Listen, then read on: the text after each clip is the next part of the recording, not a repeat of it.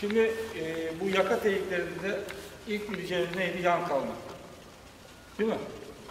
Yan kalma. Fakat bu nazik yapabilir. Şey, şey, şöyle bir vuruş aslında uzaklaştırabilir.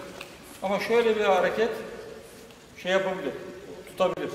Olduğu yerde. Çünkü benim amacım şunu yapmak. Buradan almak. Sıkı duruyoruz değil mi? Buradan almıştık. Ya bu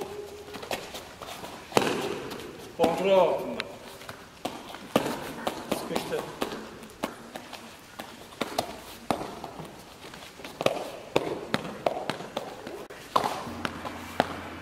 Saçma görünüyor değil mi? evet.